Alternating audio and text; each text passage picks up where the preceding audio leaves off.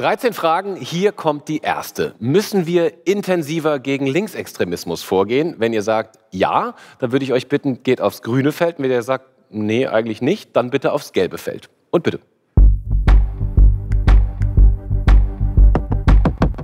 Um es von vornherein gleich mal zu sagen, der Rechtsextremismus ist das größte Problem für unsere Demokratie. Punkt. Pause. Gleichzeitig wäre es aber natürlich fahrlässig, andere Gefahren nicht zu debattieren, wie zum Beispiel den Linksextremismus. Wenn Jagd auf Menschen gemacht wird, wenn Polizeikräfte auch privat eingeschüchtert werden, wenn teilweise zum Umsturz gegen das System aufgerufen wird, dann kann uns das als Demokraten und Demokratinnen natürlich nicht kalt lassen. 1. Mai-Demos, G20-Gipfel und der Fall der Linksextremistin Lina E. Haben wir die Gewaltbereitschaft des linken Spektrums vielleicht unterschätzt? Oder wird dort eine ganze Szene einseitig und zu Unrecht diskreditiert? Darüber sind sich meine Gäste natürlich erstmal uneins. Wir versuchen heute wieder, beide Seiten näher zueinander zu führen, vielleicht eine Kompromisslinie zu identifizieren. Ob das gelingt, werden wir am Ende der Folge sehen. Jetzt erstmal die Frage an euch, wo würdet ihr euch positionieren? Auf der grünen Seite oder auf der gelben? Schreibt es uns gerne in die Kommentare. Und jetzt geht's los. Man muss vielleicht einleitend sagen, der Begriff links, genauso wie der Begriff rechts, ist ziemlich schwammig. Trotzdem verwenden wir sie ja im öffentlichen Diskurs immer wieder. Deswegen würde ich gerne erstmal so eine allgemeine Runde machen, was wir damit überhaupt meinen, wenn wir über links reden. Und bei 13 Fragen kommt hier Frage Nummer zwei. Die geht an Linda. Du bezeichnest dich selbst als links. Was bedeutet das für dich? Ja, genau. Also ich bezeichne mich eigentlich sogar sehr ungern einfach mit einem Sammelbegriff wie linksradikal oder eben links. Ähm, ich bin in allererster Linie Antifaschistin und ich glaube, das ist selbsterklärend. Ich bin auch Feministin. Das heißt, mir geht es hier um Gleichheit von Geschlechtern, ähm, ich bin Antirassistin und ich bin auch Antikapitalistin. Von Linken und auch Antifaschistin geht keine größere Gefahr für die Demokratie aus, sondern vielmehr es ist eine Anerkennung dessen, dass wir in einer Welt leben, die noch gar nicht fundamental demokratisch ist. Also die Mitbestimmung fehlt an mancher Stelle für irre viele Menschen. Dementsprechend würde ich sagen eigentlich, links zu sein, Antifaschistin zu sein, ist das Demokratischste überhaupt. Geht ihr da beiden da mit oder habt ihr noch was zu ergänzen? Wie würdet ihr links definieren? Ich, ich würde vielleicht noch äh, ergänzen, also ich gehe da eigentlich bei allem mit, dass sich äh, links sein durch eine sozusagen Ideologie der Gleichheit ähm, definiert, dass man eben davon ausgeht, dass alle Menschen gleich sind und alle die gleichen Rechte haben sollten. Es muss nicht heute gegen Linksradikalismus vorgegangen werden, da die linke Szene ja schon sehr von Repression ähm, überzogen wird und da trifft man eigentlich die Falschen, da trifft man eben die, die sich gegen ähm, rechte Gewalt einsetzen und die da sind, wenn der Staat nicht da ist. Ich kann dem auch zustimmen und möchte vielleicht noch äh, was zu einer Abgrenzung sagen, denn in der Geschichte äh, der äh, linken Bewegung gab es durchaus totalitäre Tendenzen. Man denkt an Stalinismus, äh, Mao, Pol Pot und solche Großverbrecher. Ne? Also mit denen kann ich überhaupt nichts anfangen, die finde ich ganz fürchterlich. Und die haben zwar auf ihre Fahnen auch die Gleichheit geschrieben, aber das haben die nicht gemacht. Die haben extremste Ungleichheit politische hergestellt, ultra antidemokratisch. Und äh, das ist etwas, was ich überhaupt nicht unterstützen kann. Aber ich bin Anarchist. Ich möchte also eine möglichst herrschaftsfreie Gesellschaft haben, was die Wirtschaft, die Gesellschaft, die Politik und so weiter angeht. Und demokratischer geht es eigentlich gar nicht. Es gab in den letzten Jahren und paar Jahrzehnten einen massiven Rechtsruck in der Politik. Und das zieht nach sich, dass relativ normale, brave Positionen inzwischen als sehr links wahrgenommen werden. Und äh, man braucht diesen Feind links. Deswegen schlägt man jetzt auf Leute ein, die gar nicht so radikal sind, wie das oft den Anschein hat. Jennifer, gehst du da mit? Ist das so eine ähnliche Definition von links, die du auch im Kopf hast? Oder würdest du sagen, links ist auch noch was ganz anderes? Ich würde zum Teilen mitgehen. Ich würde aber auch zu Teilen sagen, dass einiges, äh, was eben genannt wurde, längst nicht mehr nur für links gilt. Also ich glaube, es gibt auch Menschen, die sich als Feministen definieren, die sich jetzt nicht zwingend links verordnen würden. Ich glaube, das, wo man am eindeutigsten vielleicht noch links zuordnen kann, wäre äh, die antikapitalistische Haltung.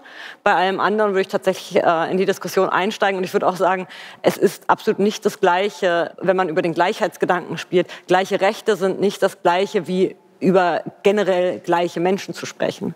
Ich denke, es gibt eine Tendenz dazu, ähm, Linksextremismus mehr zu verharmlosen als Rechtsextremismus, weil ja Linksextremismus auch aus der Antifa-Bewegung kommt und Antifaschisten, das sind wir ja irgendwie auch alle ein bisschen.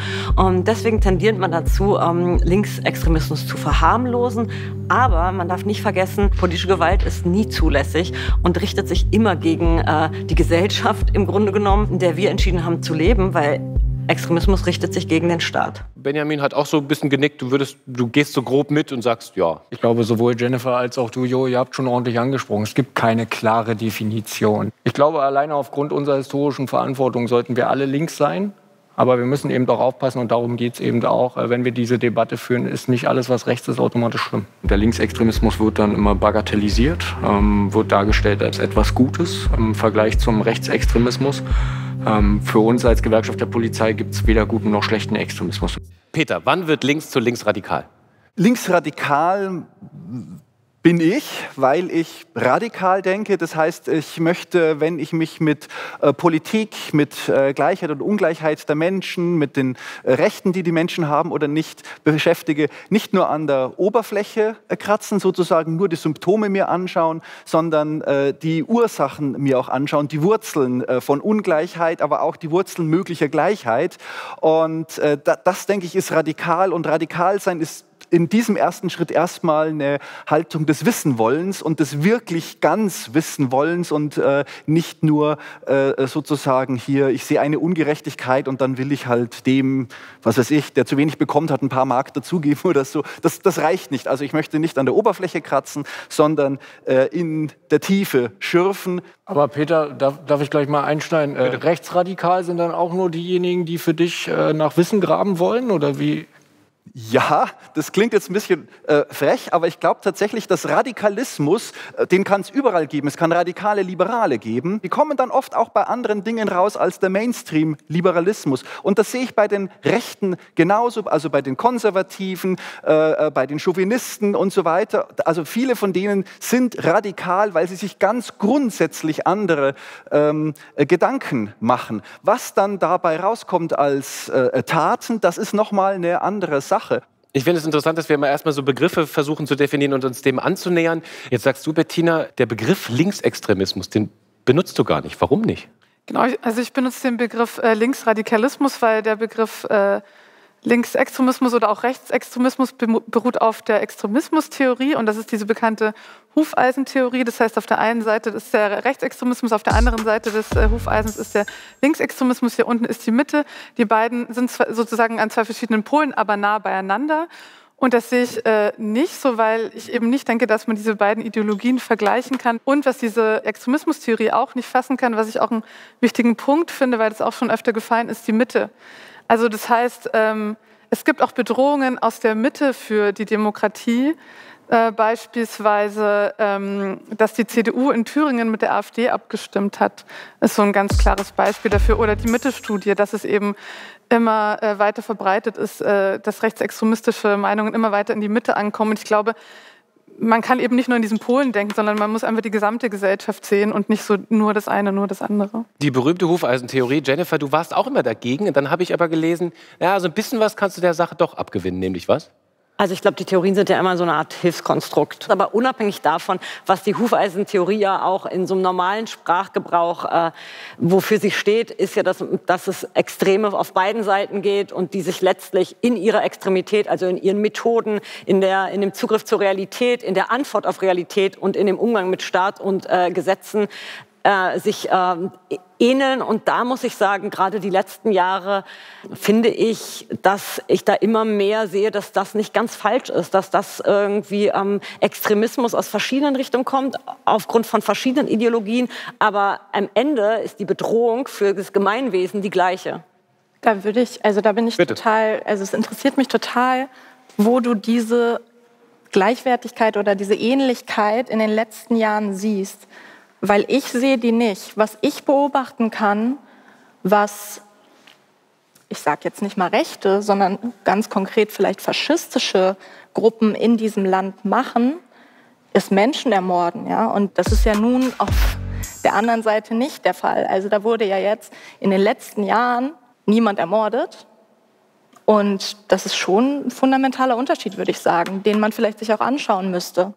Glaube, also Mord, äh, Mord steht natürlich ganz am Ende und es ist jetzt auch nicht so, dass die Geschichte der Bundesrepublik keine äh, politischen Morde von links kennt. In den letzten Jahren geht es mir eher darum, auch um äh, Tendenzen, die sich entwickelt haben. Also es fängt an bei den Covid-Demos, wo eine komische Melange an Leuten auf der Straße war. Aber wenn ich sehe, was bei diesen äh, sogenannten pro-palästinensischen Demo, die in Wirklichkeit meistens anti-israelische Demos sind, alles gemeinsam auf die Straße geht, ähm, da sind natürlich auch ähm, religiöse Extremismen, wenn man so will, aber da sind auch ganz klar klar linksradikale und linksextremes äh, Potenzial dabei ähm, und äh, die zumindest nicht selber aktiv werden, aber Morde gutheißen. Und Bettina ist so ganz, du bist gleich dran. Bettina ist so leicht nach vorne gegangen. Wieso? Äh, genau, weil ich das auf jeden Fall das Problem auch sehe. Also gerade eben jetzt seit dem 7. Oktober das Aufkommen des linken Antisemitismus oder also der Antisemitismus eben von allen Seiten, von äh, rechts, von links und äh, dann sage ich jetzt doch von der Mitte der Gesellschaft, das sehe ich auch als ein großes Problem und dass eben gerade viele Linke da auch mitlaufen. Das ist so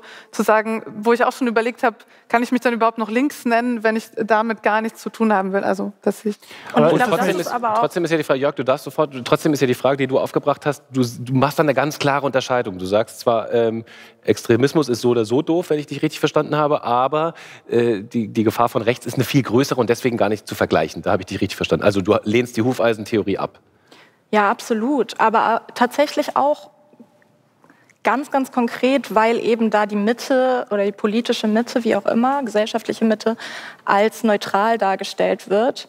Und also im politischen Raum so zu denken, finde ich also ein bisschen fahrlässig fast schon, weil das bedeutet halt, dass man eben sich gar nicht anschaut, was passiert denn da.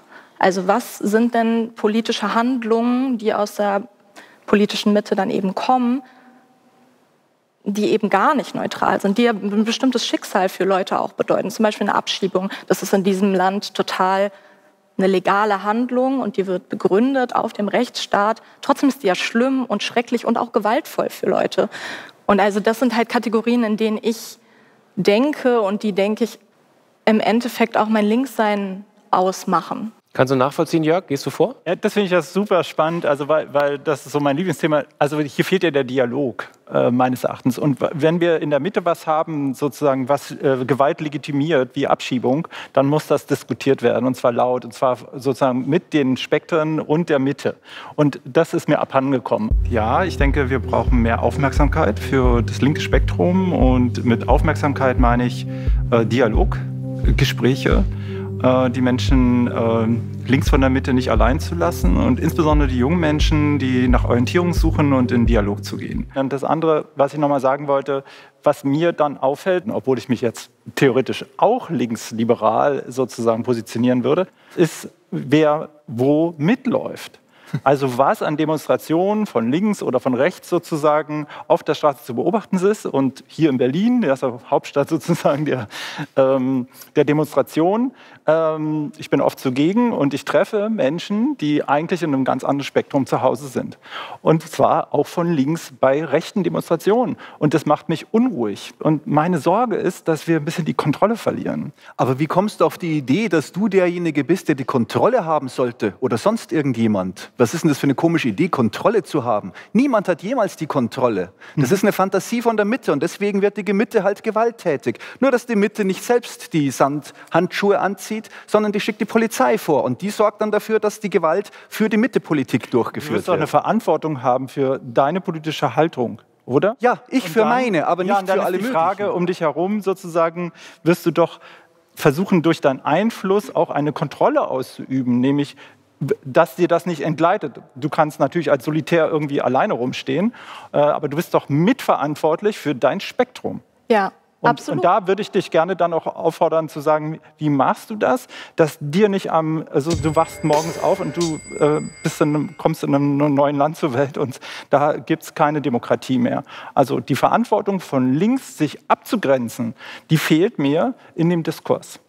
Willst du antworten? Also ja, ich denke, also dass es da sehr viel Diskurs gibt und ich sehe in, in den sozialen Medien, in denen ich bin, äh, wie sich die Linken gerade richtig heftig in Diskussionen beackern äh, und zwar äh, gerade was jetzt äh, diesen ähm, Überfall der Hamas auf Israel anging am 7. Oktober mit, äh, mit diesen Terrormassakern, die die da veranstaltet haben, äh, was von, von den einen als äh, schreckliche Wiederholungstat vergleichbar, jetzt in klein, aber so groß seither gab es nicht mehr mit dem Holocaust äh, ist. Und die anderen, die sagen, äh, hier, äh, aber schaut euch an, wie es in Gaza gerade zugeht, wo die Menschenrechte verletzt werden. Und äh, da versuchen die Leute halt sich gegenseitig irgendwie zu überzeugen. Es gibt noch vieles anderes, auch dass Leute nicht versuchen, sich zu überzeugen. Aber ich sehe das sehr schon, dass das gemacht wird. Ist dir dann vielleicht nicht aufgefallen, weil du was Spektakuläreres gesehen hast? Wir können ja mal zwischendurch fragen, wie seht ihr das denn? Wie würdet ihr denn linksradikal, linksextremistisch äh, definieren? Was wäre für euch ein gutes Beispiel dafür? Schreibt es uns gerne mal in die Kommentare. Ich würde gerne mal bei Jörg nachfragen, weil du, du hast ja auch eine Erfahrung aus deiner Vergangenheit.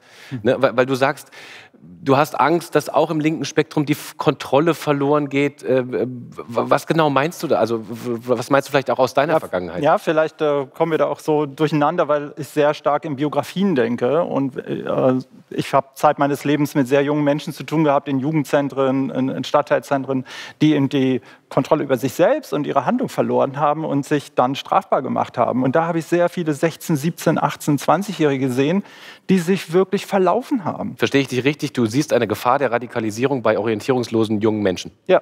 So. Hat er damit recht? Kann, stimmt das? Also ich ähm, kann sozusagen mit einem Beispiel antworten, weil ich äh, das nicht so sehe. Also ich kann mir vorstellen, also das kommt ja nicht von irgendwoher, warum sich Leute radikalisieren. Da steht ja oft, also klar kann es auch sein, dass die irgendwie das tun, was der große Bruder macht oder so, aber oft äh, stehen ja vorher zum Beispiel auch Repressionserfahrungen. Ähm, um ein Beispiel zu bringen, es gab ja eben diesen Tag X, den 3. Juni äh, in Leipzig, also diese Großdemo, die dann verboten wurde nach dem Urteil gegen äh, Lina E. und die anderen. Und da gab es ja diesen großen Kessel, wo einfach äh, tausend äh, Leute über Stunden bis fünf Uhr morgens eingekesselt wurden. Und ich glaube, dass so eine Repressionserfahrung, mhm. die macht dann vielleicht auch nicht unbedingt, dass man danach denkt, äh, hey, die Polizei ist toll, der Staat ist toll. Also das heißt, man muss es schon auch immer in dem Kontext sehen, woher diese Meinungen äh, auch kommen. Benjamin, kannst du nachvollziehen? Also es ist so ein bisschen Gewalt erzeugt Gegengewalt oder zumindest Unmut, möchte ich sagen. Wenn du sagst, eine Repressionserfahrung, ich kann dir mal ein Beispiel geben. Also eine Polizistenkette hintereinander. Ja, begleitet einen Versammlungsauflauf, beispielsweise von einem schwarzen Block, also der sich ganz bewusst vermummt, obwohl es in unserem Land verboten ist, der auch be bereit dazu ist, Straftaten zu begehen, ob nun Sachbeschädigung oder auch Körperverletzung, was auch immer. Da werden auch unsere Kolleginnen und Kollegen angegriffen. So, dann kommt einer von außen, ja, Polizei begleitet das eng, dann kommt einer von außen und möchte da auch mit in die Mitte. So, und dann wird er vom Kollegen weggedrückt. Das macht ein Polizist, um eben nicht zum Vordermann abreißen zu lassen, weil es nämlich die größte Gefahr ist, dass ein Polizist eingekesselt wird von einem schwarzen Mob beispielsweise. Das sieht die Bürgerin oder der Bürger, der da jetzt hin will, der sieht das gar nicht oder die sieht es gar nicht, ne? sondern sagt, hier, Polizeigewalt rechtswidrig, du hast mich weggeschubst. Ich kann euch nur dazu einladen, setzt euch mal einen Einsatzhelm auf und geht mal bei so einer Versammlungslage mit. Genau, aber wenn wir beim Thema Helm sind, also dann. Ja, Moment, Moment, lass mich mal noch kurz ausführen. Ja, klar. Situation ist, ich kann nicht für jede Polizei sprechen. Ja? In Berlin haben wir ein Deeskalationsgebot. Und du wirst auch am 1. Mai, obwohl am 1. Mai bekannt ist, dass Barrikaden auf der Straße brennen, dass äh, Steine auf Kolleginnen und Kollegen der Polizei geworfen wird, wirst du vor 18 Uhr kaum einen im Helm sehen, weil die den Helm abnehmen. Wenn die aber durch die Rigaer Straße laufen, dass die den Helm aufsetzen, wenn oben Steindepots auf dem Dach stehen, und dazu aufgerufen wird, Polizistinnen und Polizisten schwer zu verletzen, Feuerwehrleute schwer zu verletzen, dann glaube ich, kann man verstehen, dass man da einen Helm aufsetzt. Kannst du verstehen? Klar, das kann ich verstehen, würde ich, äh, oder ich wäre keine Polizistin, aber ich würde es natürlich auch machen, um mich zu schützen. Aber wenn, wenn man eben auf eine Demo geht, als äh, einfache Demo-Teilnehmerin und dann steht man diesen Hundertschaften in Helm, die dann ab einem gewissen Punkt eben die Helme aufziehen. Da gibt es ja schon eine klare Hierarchie und da ist eben dieses einmal kurz angeschubst werden von so einem ja, äh, Robocop. Großen, ja, genau, ist einfach, ähm, da ist einfach eine klare Hierarchie da. Und ich sehe das auch, natürlich gibt es die Gefahr, dass auch Polizisten und Polizistinnen äh, verletzt werden, aber das Gewaltmonopol hat eben der Staat und das haben nicht die Bürger und Bürgerinnen und der, der Staat verteidigt dieses Gewaltmonopol und das finde ich, kann man auch äh, kritisieren. Ich kann schon verstehen, dass in so einer, in so einer Mikrosituation, einer Demonstration, wo es irgendwie zur Auseinandersetzung zwischen Polizei und Demonstranten kommt, dass da Wut entstehen kann. Kann ich nachvollziehen, finde ich aber dennoch rechtfertigt nicht, ähm, dass man sozusagen, man wird geschubst, also haut man zurück. So ein Schubsen kann auch aus tausenderlei Gründen kommen. Es kann auch sein, dass die Polizei an der Handlung vollzieht, um andere Demonstrationsteilnehmer, wie wir es jetzt im Moment zum Beispiel oft erleben, zu schützen. Also das ist mir zu klein. Und zu sagen, ähm, die Welt ist so ungerecht, deswegen bin ich wahnsinnig wütend, gehe auf die Straße und wenn mir ein Polizist in die Quere kommt, haue ich dem einfach auch mal eins auf die Kappe. Ich heiße das auch nicht gut, wenn äh, Leute auf Polizisten Steine vom Dach runterschmeißen. Aber umgekehrt finde ich es auch nicht gut, wenn äh, Gewalt ausgeübt wird, die legal ist. Also das ist jetzt ein bisschen so, dass ich von äh, eurer Seite hier äh, ein bisschen höre, wie so Gewalt ist ganz schlimm, aber eigentlich ist das ziemlich doppelmoralisch, weil ihr befürwortet doch Gewalt. Nur halt nicht illegale Gewalt, sondern legale Gewalt. Und äh, das ist ein Thema, das damit reinkommt. Der Linksextremismus ist deswegen, insbesondere für euch, glaube ich, schlimm, weil er, sofern er gewalttätig wird, was es sehr viel weniger tut als äh, die Rechten, äh, in die falsche Richtung die Gewalt macht. Es ist eine Gewalt von unten nach oben und was ihr aber gut heißt, ist die Gewalt von oben nach unten, hinter der der Gesetzgeber steht, der das legalisiert, der bestimmte Regeln aufstellt, wann darf Gewalt ausgeübt werden. Und dann heißt du das vielleicht in, in, in, in deiner journalistischen Arbeit gut, du heißt es in deiner Arbeit gut. Du bist tatsächlich vom Beruf her ein Ausüber von Staatsgewalt. Das gehört ja, zu deinem schneide ich, schneide ich, Entschuldigung, aber mu muss ich reinschneiden, weil die Scheinheiligkeit, ganz ehrlich, die macht ihr auf eurer Seite. Ich möchte mal kurz, äh, ganz ehrlich, das, was Linda vorhin gesagt hat, ja, äh, ich finde es doof, wenn äh, abgeschoben wird. Äh, ich finde es doof, wenn eine Räumung passiert. Also ich möchte mal wissen, warum ist dann anscheinend Gewalt gegen Polizisten völlig legitim, aber warum nicht gegen Beschäftigte der Ausländerbehörden oder derjenigen der Zwangsvollstreckung, die entscheiden, dass so ein Gebäude geräumt wird? Das passiert in einem Rechtsstaat. Wir haben uns alle verständigt auf die Gesetze. Die macht ja nicht Herr Scholz. Und die macht auch nicht nur die Bundesregierung. Wir haben uns verständigt, wir haben die Leute gewählt. Das ist unsere bürgerliche Mitte. Das ist unser allgemeiner Konsens. Das kann man blöd finden, dann kann man auf die Straße gehen, kann demonstrieren. Ihr rechtfertigt immer ein Stück weit, und das ist ein Credo der linksextremen Szene. Gewalt gegen Polizisten ist okay. Die entscheidende Frage dahinter ist, Peter, wenn du ein ähm, Problem damit hast mit der Gesetzgebung in Deutschland und das, das Gefühl hast, es gibt einen Staatsapparat und die Bürgerschaft ist nicht beteiligt, dann könntest du ja darauf hinwegen, hinarbeiten wollen, das System innerhalb einer Demokratie so zu verändern, dass du zufriedener bist. Die Frage dahinter ist aber, rechtfertigt das Gewalt gegen Staatsapparate, selbst wenn du Recht hättest? Ich glaube, dass Gewalt fast nie äh, rechtfertigt äh, gerechtfertigbar ist, nur in Selbstverteidigungssituationen. Das gilt aber auch für legale Gewalt. Ich halte also das meiste, was die Polizei an Gewalt tut, und du sagst, sie begeht keine Gewalt, aber das ist natürlich Quatsch. Natürlich begeht die Polizei Gewalt. Gewalt ist, wenn jemand verletzt wird. Und ich selbst bin vom Polizisten verletzt worden. Aber äh, jetzt zu sagen, ähm, hier ist Gewalt gegen Polizisten legitim oder nicht und gleichzeitig zu sagen, das sind doch unsere Leute, das sind doch alle wir selbst, dann müssen wir gleichzeitig auch von der Augenhöhe ausgehen. Und Augenhöhe heißt, ich kriege deine Rechte und du hast auch meine Pflichten. Und das bedeutet, äh, ich krieg deinen Knüppel, ich krieg deinen Helm, wenn ich auf eine Demonstration gehe und ich krieg meine eigenen äh, mit mir äh, verkumpelten Gerichte, die überprüfen, ob das, was ich gemacht habe, in Ordnung ist oder nicht. Das heißt aber, du stellst das Gewaltmonopol des Staates grundsätzlich in Frage.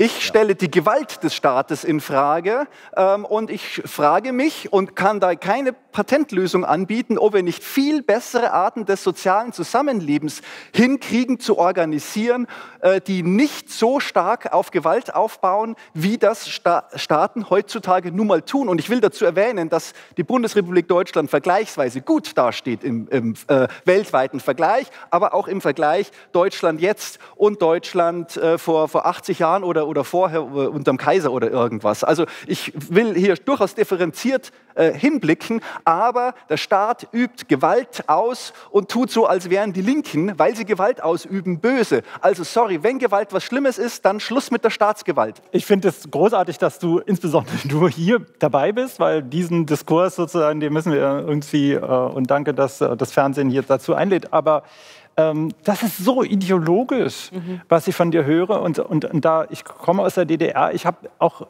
jahrelang, jahrzehntelang sozusagen in einem Land gelebt, was unter so einer ideologischen Fahne sozusagen seine Herrschaft ausgeübt hat. Und äh, da, da wird mir ganz anders. Und da kriege ich wirklich Sorge. Also wenn du dieses Gewaltmonopol sozusagen äh, in Frage stellst und so, das kannst du natürlich. Das doch, machen wir mitten im Fernsehen, ja? Super, also auch sehr demokratisch, du kannst das sagen. Ja, aber da verhandel es doch. Du hast doch so viele Instrumente, sozusagen auch darüber nachzudenken. Und da bin ich sofort dabei. Wie können wir die Polizei sanfter machen? Ja? Wie können wir ihnen äh, bestimmte Rechte wegnehmen? Ja? So bin ich sofort dabei. Und das möchte ich gerne diskutiert haben. Äh, ich habe sowohl von der Polizei schon Knüppel auf den Kopf bekommen, ich habe von links schon äh, was auf die Nase bekommen und von rechts. Also ich bin sozusagen hier irgendwie das Opfer aller drei Institutionen. Ich will nur sagen, das hat wehgetan. Und das, das, möchte ich nicht, egal von wem. So. Und das Einzige, was ich in meinem Leben erlebt habe, was da hilft, ist Gespräche führen. Die Polizei wird praktisch in die Mitte des Diskurses gestellt. Das merke ich, wenn ich mit jungen Leuten unterwegs bin, die sozusagen da äh, links gepolt sind. Ja? Die, die Polizei ist der Feind. Da stimmt was nicht. Du hast Peter überzeugt, er ist einen Schritt nach vorne gegangen und ich würde gerne mal Bettina dazu holen. Hat er recht? Ist die Dämonisierung oder das, die Schaffung des Feindbildes Polizei der absolut falsche Weg?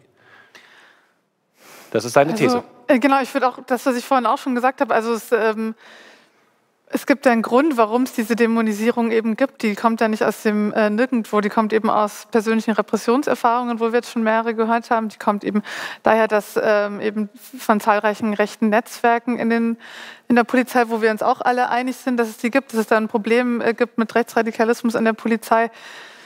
Also ja, und ich, ich wünsche mir auch eine Gesellschaft, wo mehr miteinander geredet wird. Deswegen ist es ja auch schön, dass wir jetzt heute miteinander äh, reden. Aber ich glaube, vielleicht noch ein anderer Punkt. Ähm, spielt ja auch die Medien eine große Rolle. Also wie wird darüber berichtet? Und wenn wir zurück zum Thema äh, Linksradikalismus, da wird eben sehr verkürzt über Linksradikalismus berichtet. Dann sieht man immer nur Bilder irgendwie von äh, Bengalos und eben Flaschenwürfen. Und dann sieht das so aus, als wäre die Linke, wär dann, wären dann eben diese wenigen gewalttätigen Menschen, aber die ist ja viel größer. Die linken Chaoten, ja, die, die Zumindest Jörg, hast du damit ich überzeugt? Jetzt. Hast mich abgeholt. ähm, aber Jennifer natürlich als Chefredakteurin der Welt geht einen Schritt zurück, weil ihr macht das natürlich immer total differenziert und es gibt gar keine linken Chaoten bei euch in Überschriften. Nee, aber ich finde, dass die eine Seite sagt so, es wird total parteiisch über Linksextreme oder Linksradikale berichtet, die anderen sagen äh, das Gleiche über Recht. So, das kann gut sein, wenn wir jetzt über die konkrete Situation von Demonstrationen, ähm, über die berichtet wird oder über Gewaltausbrüche, muss man jetzt mal ehrlicherweise sagen, in der Aufmerksamkeitsökonomie, in der wir uns bewegen, und das sind nicht in erster Linie jetzt äh, die alten Medien, sondern es sind die digitalen Medien. Natürlich zählt da das beste Bild oft. So würde ich jetzt auch nicht unterstützen. Aber ähm, ich glaube ganz im Gegenteil, dass eigentlich ähm, Linksextremismus, auch Linksextremismus, nicht nur Linksradikalismus, ähm, vor, viel vorsichtiger angefasst wird in der Regel als ähm, Rechtsextremismus. Aus verschiedenen Gründen, aber unter anderem aus dem Grund, weil er natürlich aus der Antifa irgendwie wächst. Und mit Antifa, also Antifaschisten sind, glaube ich, die allermeisten in Deutschland, kann man, glaube ich, so pauschal sagen. Auch viele, die eigentlich so dem rechten Spektrum zugeordnet werden. Insofern, also ich glaube eigentlich, dass äh, Linksextremismus eher verharmlost wird. Mich interessiert das, was du gesagt hast, Linksextremismus wird verharmlost. Wie geht's dir denn selber, wenn du hörst, eine linksextreme Gruppe verprügelt Neonazis, findest du es dann weniger schlimm, als wenn sie normale Passanten verprügeln würde? Oder, also das ist ja genau der, der Impetus, den viele das haben. Ist genau der, das ist genau der Knackpunkt. Ja. Ähm, ich glaube, dass man natürlich persönlich und emotional da eine andere Reaktion hat. Aber genau das ist der Knackpunkt. Genau das ist der Sinn, dass man eine Verfassung hat und dass man einen Rechtsstaat hat und dass man irgendwie eine Demokratie hat. So sagt, die Grenzüberschreitung ist egal, aus welchem Grund ich die mache. Es ist eine Grenzüberschreitung, die nicht zulässig ist. Mhm. Der Zweck darf es niemals die Mittel heiligen? Der Zweck heiligt nicht die Mittel und es gibt keine Selbstjustiz. Bettina, haben die recht? Äh, der Zweck darf niemals die Mittel heiligen? Ähm, Nee, sehe ich nicht so. Also ich, ich, glaube eben, wenn man über linke Gewalt spricht, dann muss man eben das gesamtgesellschaftlich betrachten. Und klar, dann würde ich auch sagen, äh, einem Neonazi auf die Fresse hauen, okay, das ist Gewalt. Heiße ich nicht gut, aber ähm, die Linke, Linksradikale, die sowas machen, die haben Vertrauen in den Staat äh, verloren und das geht okay. schon äh, seit Jahren so. Also eben angefangen mit dem NSU, wo der Verfassungsschutz äh, zahlreiche Akten irgendwie vernichtet hat, eben mit rechten Netzwerken und ähm, mit Repressionserfahrung und und wenn man sich zum Beispiel dieses äh, Beispiel Eisenach anguckt, wo diese Gruppe um Lina E. angegriffen hat, da sagt selbst der äh, Thüringer Verfassungschef, sagt, das ist eine Neonazi-Hochburg. Das heißt, in bestimmten Momenten kann man, ist da das Gefühl da, man kann sich nicht auf den Staat verlassen. Das ist sozusagen ein großes Gefühl des Vertrauensverlusts wo, und da ist dann die Antifa da. Und da bin ich ehrlich gesagt froh, dass die Antifa da ist. Das war auch 2015, 2016 so. In Schneeberg, in Freiberg wurden Geflüchtetenheime angezündet und wer war da? Die Antifa hat sich ja, da vorgestellt. Ja. Und da bin ich ehrlich gesagt ziemlich ziemlich froh drum. Aber da darum geht es ja froh. nicht. Es geht ja sozusagen, es geht ja nicht darum, dass sie, also es geht ja nicht dass, darum, dass man Polizei nicht kritisieren kann in Punkten, dass man den Staat nicht kritisieren kann. Und es ist natürlich äh, äh, gut, wenn äh, sozusagen Zivilgesellschaft da einspringt, äh, wo die Institutionen, die eigentlich zuständig wären, ausfallen. Aber es geht ja um die ganz konkrete Frage, rechtfertigt das eine Grenzüberschreitung, die eigentlich gesetzlich nicht vorgesehen ist. Also, und ich würde immer sagen, dann arbeitet halt an dem Staat, wenn ihr mit dem, so wie er im Moment arbeitet, nicht zufrieden ist. Aber sozusagen sagen, nö, da muss, da, da muss ich da zurückschlagen, das wird doch immer nur zu einer Zunahme von Gewalt, also der, der so der sprichwörtlichen Gewaltspirale führen. Immer. Wie soll sozusagen Gegengewalt irgendwas, irgendwas besser machen? Irgendwas. Ich würde gerne einen Schritt. Aber vielleicht beantworten die Frage und du darfst sofort Sorry. antworten. Möchtest du antworten? Wie kann Gegengewalt irgendwas besser machen? Genau, also besser, Gewalt ist schlimm, ja. natürlich. Also so, da, darum geht es, glaube ich, hier, bei, also darum geht es bei uns ja gar nicht, dass irgendwer sagt, wir finden Gewalt geil. Und, und das möchte ich ganz deutlich machen, da geht es auch nicht darum, wenn Antifaschisten das als Mittel wählen. Jetzt sagst du, es kann nichts Besseres dabei rauskommen, wenn eben sich für ein Gewaltmittel entschieden wird. Und auch wenn ich von diesem Wort gut weggehen würde, würde ich halt sagen, dass es trotzdem hinsichtlich ähm, gewalttätigen Neonazis, wenn sich das dagegen richtet, manchmal eben, oder was heißt manchmal, in unserer Erfahrung, das kann man nachlesen, dazu führt, dass Neonazis aufhören. Und dann ist es halt in erster Linie weder schön, es ist schlimm, aber es ist effektiv. Und das sind die Fragen, die man sich stellt oder stellen muss, meiner Meinung nach, wenn wir genau darüber reden, wie lassen sich Nazis aufhalten und wie weit muss man da an mancher Stelle gehen. Und ich glaube, man merkt auch in dieser ganzen Diskussion, die wir haben, wie kompliziert es eigentlich ist und wie weit das politische Feld ist und, und wie weit ins Detail es da gehen kann. Ich finde es aber total spannend, dass wir so ein paar Grautöne ausloten. Ich gehe trotzdem mal auf nicht den Grauton, sondern auf den Extremfall. Nehmen wir mal an, und das ist ja vielleicht auch fiktiv, weil es im Endeffekt natürlich differenzierter ist. Passanten, auch linke Gruppierungen werden gewalttätig angegriffen von Neonazis und von rechtsextremen, gut organisierten Netzwerken. Sie haben mindestens das Gefühl, der Staat, Polizei lässt sie oft alleine. Sie wissen nicht mehr, wie sie sich wehren sollen. Ihnen bleibt aus ihrer Sicht nichts anderes, als zurückzuschlagen. Könnt ihr das nachvollziehen? Diesen extremen Fall? Nicht, dass ich irgendwas legitimieren will, ich will nur fragen, könnt ihr das nachvollziehen? Dass Leute sagen, hey, keiner hilft uns, wir müssen jetzt zurückschlagen. Aber der Staat würde ja auch nicht zurückschlagen. Der würde sie halt einkassieren. So.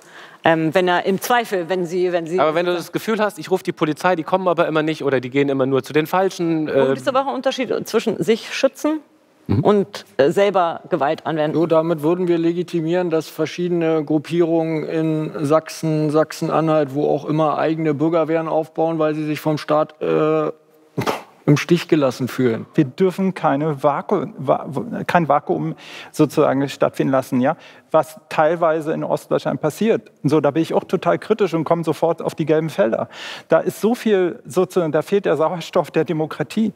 Und, so, und dann fühlen sich Menschen aufgerufen, in dieses Vakuum einzutreten und die Rolle zu übernehmen. Und das ist brandgefährlich. Das, ich verstehe das, ich kann das nachvollziehen, wenn, ich, äh, wenn die Polizei dann nicht das tut, wozu sie da wäre, oder die Staatsanwaltschaft oder wer auch immer, oder wenn wir schon so unterlaufen sind von AfD und Freunden, dass äh, ich dann auch in der Politik äh, sozusagen mir der Dialogpartner fehlt. Ja? So, das, dann, dann wird es richtig ungemütlich. Und äh, zurück, zurück äh, brauchen wir also die Gespräche und nochmal, wir sind doch die, die, der Souverän und wenn mich was stört an der an Polizei, an wen auch immer, dann muss ich das sozusagen diskutieren und ähm, alle zusammenrufen. Ich würde tatsächlich gerne erstmal euch fragen, weil wir jetzt sehr, sehr viel über legale und legitime Gewalt gesprochen haben. Seht ihr irgendwo, also um es klar zu sagen, Gewalt von Nichtstaatsorganen in diesem Land ist immer illegal. Seht ihr irgendwo ein, ein, ein, ein, sagen wir mal, ein Szenario, wo ihr Gewalt zumindest nachvollziehen könnt? Darüber haben wir ja heute ganz viel gesprochen. Schreibt es uns gerne mal in die Kommentare. Äh, bevor wir auch gleich in eine Kompromissrunde eingehen, will ich trotzdem noch einmal ganz konkret äh, was wissen. Wenn zum Beispiel jetzt Jennifer, jetzt gibt es sowas wie eine Soko Links, es gibt Urteile gegen ähm, mutmaßliche LinksextremistInnen. Was willst du noch? Ich finde nicht, dass wir äh, härter gegen links vorgehen müssen. Ich finde nur, dass wir linken Extremismus mindestens genauso ernst nehmen müssen wie Rechtsextremismus. Das wäre mir ein Anliegen. Mindestens. Ich glaube, dass wir genug rechtliche äh, und gesetzliche Mittel haben. Das heißt, du redest gar nicht über mehr Polizei oder mehr, mehr Sokos oder wenn sie dann äh, benötigt werden, ja. Aber sozusagen mir geht es nur darum, wirklich genau hinzuschauen. Benjamin? Ich glaube, du solltest sie nicht auf ihr mindestens festnageln. Ich glaube, man sollte die äh, Linksextremismus auch genauso drüber reden wie über Rechtsextremismus, weil es gibt durchaus schon einheitliche Sachen. Mir ist nicht wichtig, dass wir härter dagegen vorgehen, weil der Rechtsstaat tut es ja schon. Mhm. Mir ist viel wichtiger, dass wir als Gesellschaft und in der öffentlichen Debatte genau das, was wir heute gemacht haben, aufhören, eine bestimmte Richtung Extremismus als besser anzusehen als eine andere. Rechtsextremismus ist die größte Gefahr, weil sie eine Gefahr für die meisten Menschenleben ist, weil wir viel mehr Rechtsextreme in unserem Land haben als Linksextreme und viel mehr Gewalttaten verübt werden. Aber das macht Linksextremismus jetzt trotzdem nicht besser. Und deswegen ist es wichtig, auch genau sauber darüber zu sprechen. Und wir gehen jetzt in eine sogenannte Kompromissrunde rein. Ähm, ich äh, mache es mir immer am einfachsten, weil ich darf den ersten Kompromiss formulieren. Es ist aber in diesem Fall gar nicht so einfach. Wenn wir auf der einen Seite anerkennen, dass es Parallelen gibt zwischen Linksextremismus und Rechtsextremismus, zum Beispiel Gewalt gegen Polizisten, die beiden Richtungen sich aber fundamental unterscheiden in ihrer Ideologie, in ihrer Grundmotivation und auch in ihrer Gewaltintensität und auch in, ihrer, in ihrem Gefahrenpotenzial für die Demokratie, dann würde ich sagen, könnten wir die Hufeisentheorie einfach ersatzlos in die Tonne kloppen, weil wir dann erst uns in die Lage versetzen, über beide Sachen differenziert zu sprechen. Mein Vorschlag ist, wir kloppen die Hufeisentheorie in die Mülltonne. Wenn ihr sagt, finde ich gut, würde ich einen Schritt vorgehen. Wenn ihr sagt, hä, was ist das für ein Quatsch, bleibt ihr einfach stehen oder geht sogar nach hinten. Gelb habe ich überzeugt. Warum habe ich euch nicht überzeugt? Hufeisentheorie ist, wollt ihr immer noch festhalten. Ich glaube, es ist grundsätzlich wichtig, dass wir verschiedene Sachen ordnen. Mhm. Ja, weil äh, man muss, glaube ich, immer ausloten. Und ja, das Hufeisen ist vielleicht nicht das tollste Symbol, ja, weil es ja wirklich impliziert, wir sind näher dran als beispielsweise an der Mitte. Ähm, nichtsdestotrotz sind die Inhalte anders, aber es gibt Strukturen, die eben Linksextreme und Rechtsextreme symbolisieren. Vielleicht schmeißen wir sie in die in die Tonne, wenn wir eine neue Partei hier in unserem Land haben, was so irgendwie so ein bisschen äh, linke Ideologie und rechte Ideologie verkörpert und auch schon die extremistischen Äußerungen in die eine und die andere Äußerung gefallen hat. Meine Motivation für den Kompromissvorschlag war ja, Vergleiche sind denkbar, Parallelen ziehen ist denkbar, aber gleichsetzen oder nur den Anschein erwecken, das gleichzusetzen, hilft der Diskussion da nicht weiter. Ich zugestimmt, aber ich würde das Hufeisen nicht wegballern. Gut, alles klar.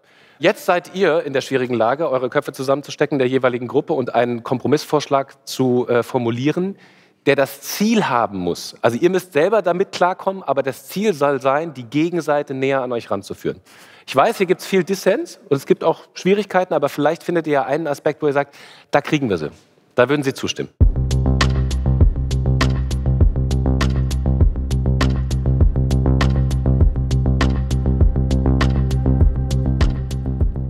Die beiden Gruppen diskutieren noch, wie sie Gelb näher an Grün und Grün näher an Gelb bringen können. Was habt ihr denn für einen Vorschlag? Habt ihr eine Kompromisslinie? Könnt ihr die formulieren? Dann tut es bitte und schreibt es uns in die Kommentare.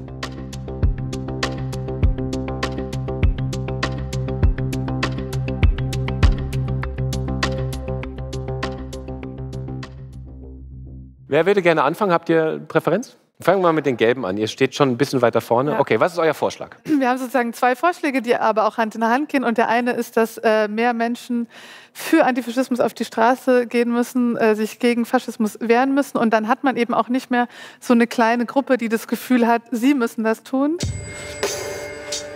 Schön. Punkt 1, ja. Das ist Punkt eins. Und äh, das, der zweite Punkt ist, äh, weil wir viel über Polizei, äh, Gewalt gegen Polizei und auch Gewalt der Polizei gegen andere gesprochen haben, ist, es braucht eine unabhängige Untersuchungskommission, ähm, dass eben nicht von der Polizei heraus äh, diese Gewalttaten untersucht werden, sondern von einem unabhängigen äh, Gremium, ähm, genau, was eben nicht die Polizei ist. Wir haben in vielen Ländern einen Polizei- und Bürgerbeauftragten, der ist nicht Teil der Polizei. Das ist ein ehemaliger Verfassungsrechtler sogar. Also gibt es. Ja, aber ich glaube, genau, glaube, wir meinen was schon eine richtige Wir Institution, die die. Polizeipolizei Das ist sozusagen eine Behörde. Äh, Entschuldigung, das ist eine Behörde des Ist das eine Landes. bundesweite Behörde? Also in jedem Ja, die Bundesland? Die gibt es nicht, aber sie bauen, ich glaube, mittlerweile in fünf Bundesländern. In fünf. Ja. Okay, aber Deutschland, sagen wir deutschlandweit sozusagen braucht Und wirkungsvoll soll sie halt sein. Ja, das ist ja eine relative Frage. Frag den mal, ob er wirkungsvoll arbeitet. Aber Ja, gut. Aber gut, man kann ja, man kann ja den Appell stellen, dass es, äh, dass es eine bekannte, für jeden Bürger bekannte Stelle gibt in jedem Bundesland, wo man weiß, absolut unabhängig, die äh, fällen notfalls auch Urteile gegen Polizei. Das ist, ja der, das ist der Impetus dahinter, richtig? Genau, ja.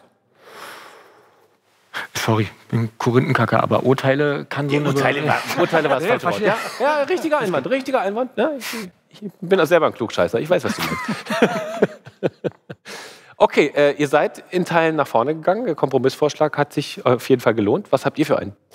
Äh, Wir haben uns eigentlich darauf geeinigt, äh, worauf wir uns ja im Prinzip hier auch schon geeinigt haben, dass man äh, Gespräche führen und auch ausweiten muss. Also dass Gespräche quasi mit dem anderen Lager, wenn man so will, ich würde es jetzt hier gar nicht so, so, so stark beschreiben, ähm, sein müssen. Und ähm, auch vielleicht spezielle Gesprächsformen, wo man wirklich dann mal sagt, ein Polizist, ähm, ein Aussteiger, wie hat es formuliert, also Leute, die wirklich mittendrin waren, um einfach mal auch als Mensch empathisch zu verstehen, was die anderen äh, geht. Also was auch noch über so ein einfach so ein Austausch. Ich meine das, du meinst das. Ich habe die Erfahrung, ich habe die. So dass man sich einfach wirklich mal zuhört, was der andere erlebt hat und warum er zu seinen Urteilen gekommen ist. Das haben wir, glaube ich, hier nur sehr gestreift. Das soll ja nicht nach dem Motto, wenn du nicht mehr weiter weißt, gründe einen Arbeitskreis sein, Nein. sondern es soll ein institutionalisierter runder Tisch oder wie muss man sich das vorstellen? Gibt es da Überlegungen schon? Nee, so, äh, so genau haben wir es nicht, haben wir es noch nicht festgelegt, oder? Es gibt Hast- ja durchaus Institutionen und Vereine, die sowas schon möglich machen im Bereich der politischen Bildung, einzelne Träger, die das möglich machen. Also wir haben das beispielsweise in der Stasi-Gedenkstätte gemacht. Ähm, ist ein Programm für junge Menschen vor allem, äh, die kurz vorm Abitur stehen, die dann Workshops machen zum Thema Linksextremismus, Rechtsextremismus und äh, wo dann in, auch in der Diskussion wirklich ein Polizist dort sitzt und was erzählt und gleichzeitig aber auch jemand aus der linksradikalen Szene oder beispielsweise ein Aussteiger und dann in den offenen Diskurs geht. Also faktisch brauchen wir mehr Formate wie das hier. Und meine Empfehlung wäre, das nicht nur einmal zu machen, also wenn's, äh, ich kenne das Format sozusagen, das ruhig äh, dreimal zu machen mit der gleichen Gruppe, weil dann Beziehungsarbeit entsteht und das hat eine ähm, ganz andere Wirkung, als wenn man das nur einmal macht, ähm, so weil man den anderen dann wirklich kennenlernt und in seine Position. Regelmäßige Gesprächskreise mit äh, Einbeziehung aller Beteiligten. Würdet ihr sagen, guter Vorschlag? Ach ja, ich meine, kann man ja mal machen. Äh, ist halt eine von vielen Dingen, die halt dann so gleichzeitig ablaufen. Ich glaube nicht, dass das an der Gesellschaft groß was ändern wird, an den Ungerechtigkeiten, die es gibt, an den Problemen, an denen sich die Linksradikalen abarbeiten, wird es, glaube ich, nicht viel ändern. Aber es mag natürlich punktuell für Verständnis äh, sorgen. Und ich, würde sagen, es schadet nicht. Ich erwarte mir aber keine großen, es gibt, es es steckt keine Macht dahinter, ja. Es ist eine Gruppe, da treffen sich Leute und reden ein bisschen. Ja gut, ist es kann okay. aber mindestens, wie auch heute gezeigt, ein gewisses Maß an Empathie erzeugen. Das Ja. ist schon mal eine gute Voraussetzung für Ja, ja, ja, ja. Ich sage, es ist okay. Ich würde mir mehr wünschen, aber man kriegt nicht immer alles, was man sich wünscht. Ja. ja, ich meine, auch ich kriege nicht immer alles, was ich mir wünsche. Ich hätte mir gewünscht, dass noch mehr Leute hier vorne im Kompromissfeld stehen. So ist es halt nicht. Man kann sich die Wirklichkeit nicht backen. Man kann sich aber weiterhin was wünschen. Herzlichen Dank, dass ihr euch darauf eingelassen habt, bei aller Schwierigkeit, die manchmal so ein Gesprächsformat auch mit sich bringt. Aber ich habe durchaus in vielerlei Hinsicht Gesprächswünsche gespürt. Und ich glaube, bei manchen Sachen werdet ihr nicht aufeinander zugehen, bei manchen anderen Seiten seid ihr aufeinander zugegangen. Von daher herzlichen Dank. Das waren 13 Fragen zum Thema Linksextremismus, in Anführungszeichen. Vielen Dank. Ja, euer Applaus. Also ich, ich habe mir immer auch erhofft, dass ich noch mehr lerne, aber ich habe auch ein bisschen, ich sage mal, verhärtete Fronten, an denen ich allerdings auch beteiligt war, erlebt jetzt. Mehr als ich dachte. Es ist ein sehr, sehr spannendes Format und man lernt spannende Menschen kennen. Also ich wusste ja nicht, was mich erwartet. Und du weißt nie, wer sind die anderen Protagonisten, ne? was bringen die so mit. Jeder hat eine Lebensgeschichte, jeder hat Ansichten. Ich glaube, bei dem Thema, bei den Protagonisten, die man eingeladen hat, ist auch schwer, dass wir dann zu einem wirklichen Konsens kommen. Ne? Ist aber trotzdem wichtig, dass wir darüber reden. Wenn euch 13 Fragen gefällt, dann könnt ihr hier unseren Kanal abonnieren. Hier oben gibt es eine weitere Folge und hier ein weiteres Video zum Thema.